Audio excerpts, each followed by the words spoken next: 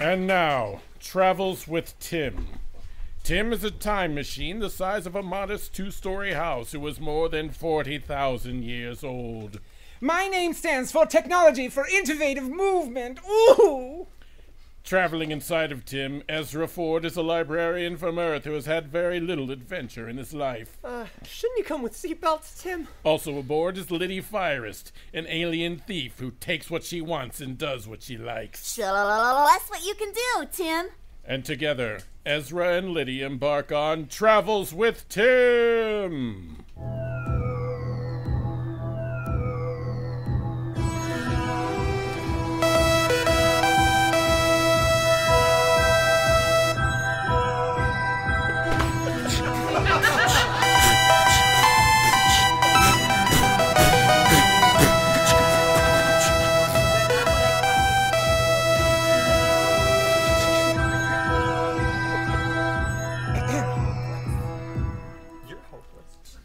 This month's episode, Awake. We begin in Tim's basement. Wow, Tim, there's so much junk in your trunk. What's so funny? Junk in the trunk? Yeah, I don't get it. It's an old Earth expression. Well, says, you may root around in my trunk as much as you like. Uh, no, suddenly I've lost interest. Not me. There are treasures galore in here. yes, feel free to dig in my treasure hole, sir. Don't mind if I do. oh, eh. Oh. oh, Hey, oh. Tim, what's this? Oh, that, sir, is my original frame. Your original frame? Oh, yes, sir. When I was young, there wasn't much of me. I was later expanded, and my previous masters kept the original in my main cabin for a long time. But then Master Ratcliffe said I was getting too full of myself and moved it to the basement. Hmm, it's puny. Well, it could sit four semi comfortably. Well, I'm glad that you're much bigger now, Tim. So the hands of H.G. Wells built him himself built this. Oh, yes, sir. With some help, but Mr. Wells' hands were all over me. I Oh. I need to be elsewhere. Don't you mean elsewhere? Ezzy! Ezzy, I made a pun. You missed my pun. I thought it was really good. Thank you, Oh, Tim. you're welcome. Shoot yourself, Ezzy. Oh, hey. What does this do? Oh, please don't push the buttons on my old frame. Most of them aren't, they don't connect to anything anymore, but, um, Uh-oh, Tim, what did you do? well, you pressed the button. Oh, pardon me, sir. Master Ezra has hit the randomizer button upstairs, and I must move. Come on, Tim. boop, bobbly boop, You've got to tell bobbly Ezzy that the randomizer isn't even real. But I have no idea, Bobbly Boop, what you're talking about. We have arrived, sirs, by the way. Where are we, Tim? Hmm. Better go upstairs and find out. Litty runs after Ezra, leaving the old frame alone in the basement. Everything is still until a figure climbs out of its undercarriage. Oh, God, that was awful. Upstairs. Where did we end up? Looks like another space station. Oh, yes, sir, it is indeed. Well, open up, Tim. We can always find something valuable on a space station. Moments ago, Oh Jesus! Calm down! I can't help it, Troy. Oh God, there was almost nothing left. I know, but if you can't get it together, we're gonna be next. God, I can't handle this, Katie. You don't have a choice, Bart. This was supposed to be a nice, calm posting.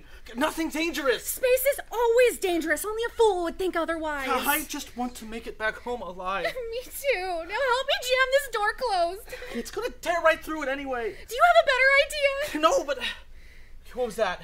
The monster. Just help me with the door. No, I, I heard. Some... What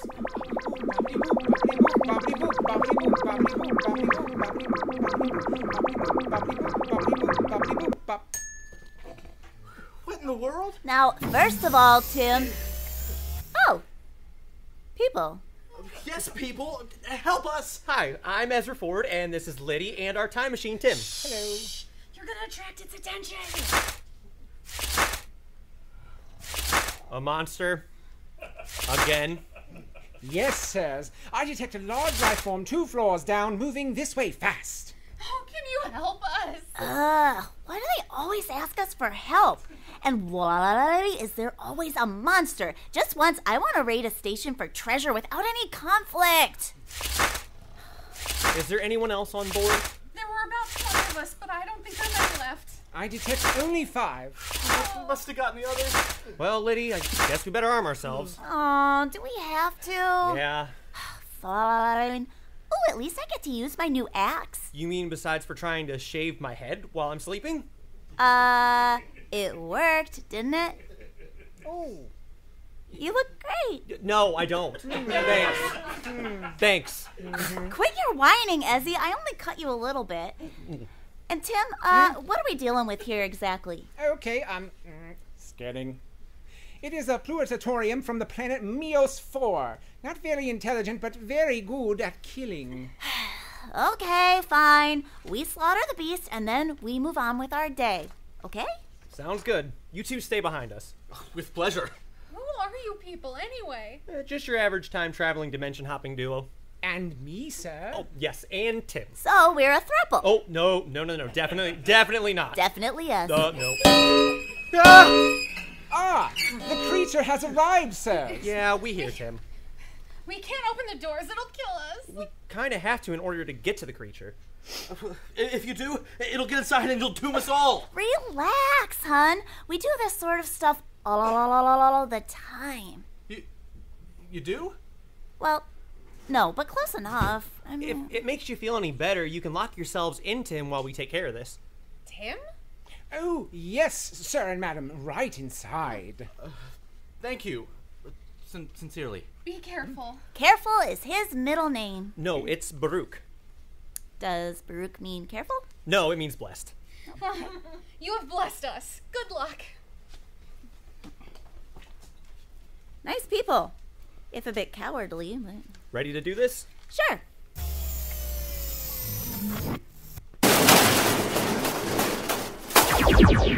It's not going down. But you did wound it. Now it's my turn. Nice.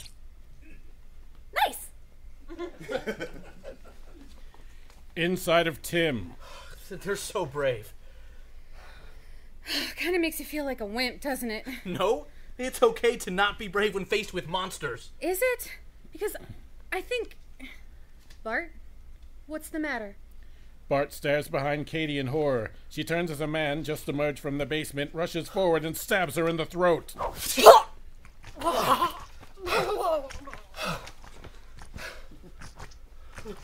Uh, please, please don't hurt You me. kept me trapped in that basement all these years. No, I, it wasn't me. I, I, Bart has been backing up but found himself with his back against the wall. Unable to go anywhere else, he stands helplessly as the man does the same to him as he just did to Katie.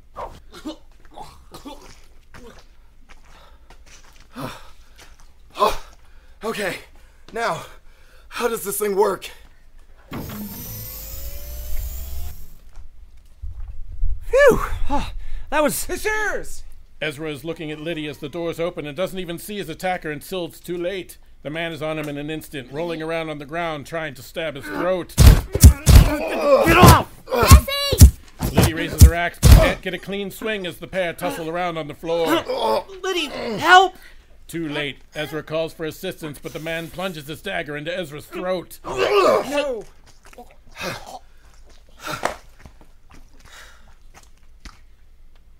I'm out of here. Litty runs back out the door and deep into the space station.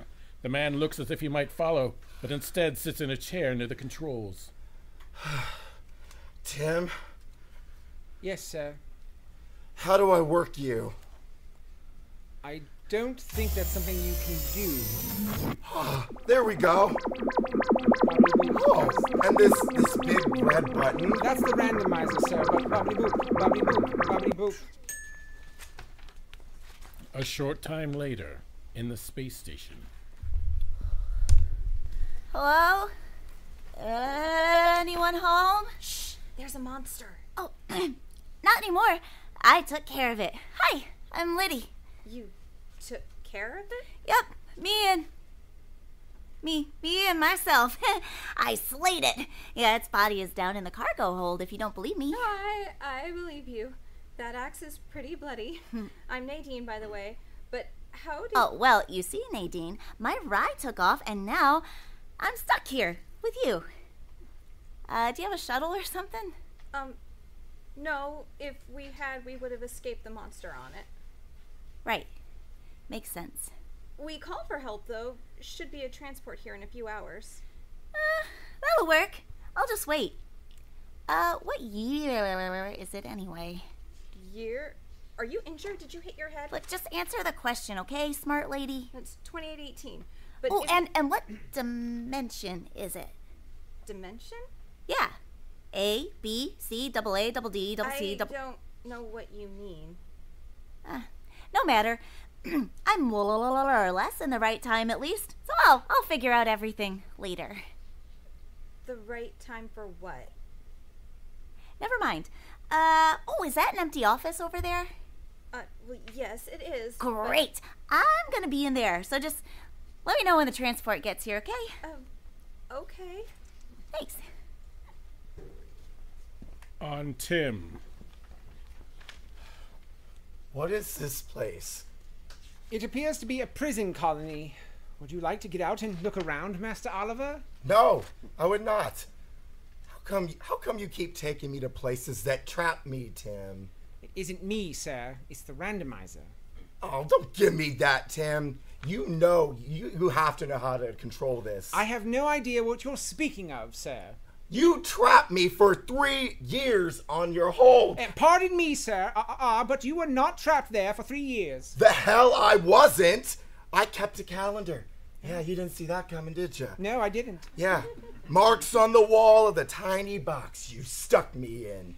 Well, sir, you were mostly in suspended animation. I only took you out briefly every once in a while to make make sure you were healthy and okay.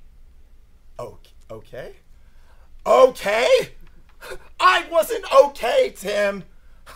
I was trapped in a box. Yes, sir. I I see that now. I'm sorry I didn't realize. If it's realize... been more than 3 years, Tim, how long has it been? Hmm.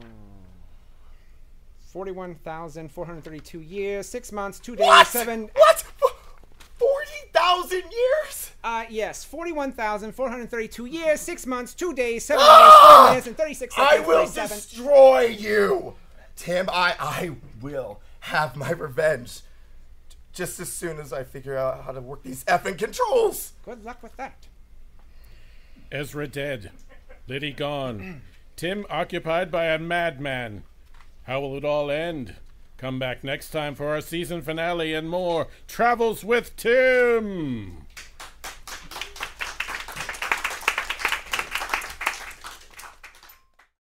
It's All Been Done Radio Hour number 12, Travels with Tim number 428. Awake. This episode was written by Jerome Wetzel and directed by Samantha Stark. It starred Nick Arganbright as Tim the Time Machine, Joe Morales as Ezra Ford, Kristin Green as Litty Firest, Mark Tomsic as Oliver, Sam Clements as Bart, Samantha Stark as Katie, and Ashley Clements as Nadine. The episode was narrated by Darren Esler. Our Foley artist was J.T. Walker. Our technical director is Shane Stefanchik. Our music director is Kristin Green. Theme songs are composed by Nathan Haley with lyrics by Jerome Wetzel.